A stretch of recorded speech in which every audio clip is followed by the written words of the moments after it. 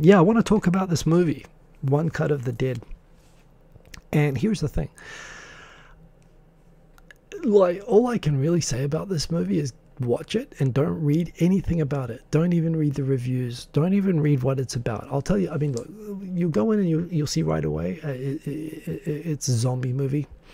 Um, and I don't like zombie movies. I'm not a zombie movie fan, and um, you know, and I guess the one tip that I'm going to give you is that it's it's a Japanese. And you know what? I I actually went into this.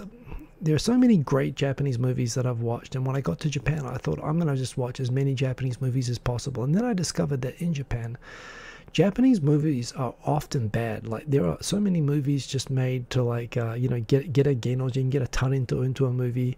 They're made by Dentsu. They're like extended TV commercials, and the acting is terrible. And it's like how you know these are movies that would never get made if it weren't for the fact that they're sort of in a captive audience and there's like a, a big marketing company budget behind it. But they're so bad. Uh, so many movies and i've been so let down so many times by japanese movies i've kind of gone off even trying to watch them anymore. And it's pretty rare. I haven't really i don't really watch japanese movies. Um, but i saw people saying good things about this so i went to watch it and um, you know zombie movie and okay it looked kind of like it looked kind of weird in the beginning and then it's like the acting was terrible and it was like it was everything. I was like oh my god this is why this is like even as bad japanese movies go this this movie is really bad. And seriously like about 20 25 minutes in i was ready to like give up. I was actually ready to stop watching it.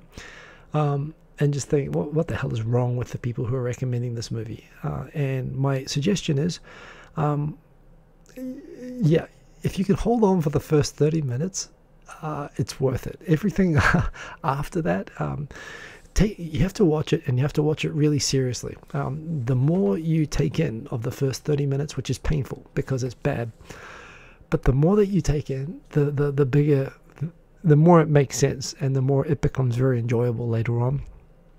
Um, it's uh, again uh, my cryptic review. I, I, gave it eight out of ten, and I'm actually thinking that might have been a low rating on Rotten Tomatoes. This is 100% on Rotten Tomatoes, and it's gotten a lot of reviews. Um, but don't read them because they give away uh, what makes it so awesome, and you'll get more enjoyment out of it not knowing. Um, you should watch it blind, like I did. But yeah, what's cool about it is um, it it it bends a lot of genres. Eh, eh, eh, it's original and it's actually smart and it's actually like, yeah, I watched it like three days ago and I'm still kind of buzzing. I'm still thinking about it, you know. So and you'll be you'll be like 20 minutes into the movie like I was and thinking Hiko's lost his mind. Uh, and all I can say is just hold on and you'll thank me later. So um, yeah, I don't know if other people. I think our guys, are English World um, I saw that you tweeted me that you had. Uh, there's a point about 30 minutes, and we're like, this is going to go on for another hour. Like, like how? What? What? What? You know, I, I swear I checked the timeline like two or three times around that mark, and I was like, That this this is so confusing. Um, but look, it's wonderful for people who have seen it confirm that I'm right. It's a wonderful movie. It's on Netflix. Yeah, you should watch it. It's a uh, Kamera o Tomeruna if you're in Japan. Uh, one cut above the dead, or one cut of the dead, if you're uh, looking it up in uh, English.